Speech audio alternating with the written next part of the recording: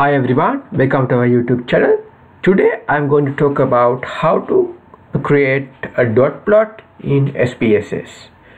So first you should have a, uh, a, a column with data like this. So I'm going to create a dot plot for number of coffee shops.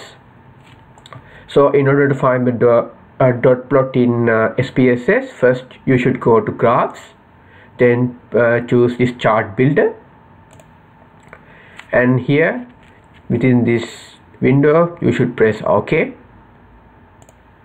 Then you will see the chart builder window like this. So in order to create the dot plot first you should choose the scatter slash dot option.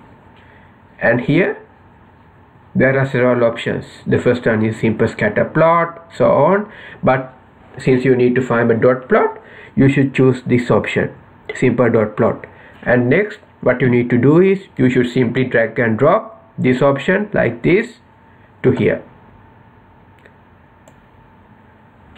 Okay? So then after that you should choose the column name or the variable name that you need to create the dot plot.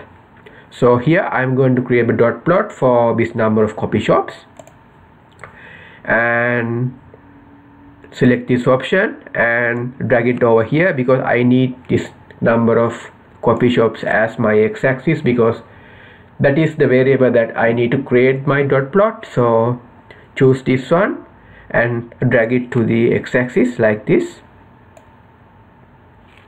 Then after that you should um, press ok. So this is my dot plot. So you can see the data is skewed right? Because here you have a peak at the beginning and there's a heavy tail over here. So it is a right skewed distribution. So based on a dot plot you can uh, describe the distribution of a particular variable.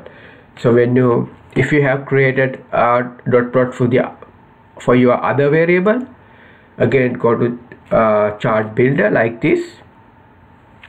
And instead of choosing the number of coffee shops. Now I'm going to choose the heart rate as my x variable like this.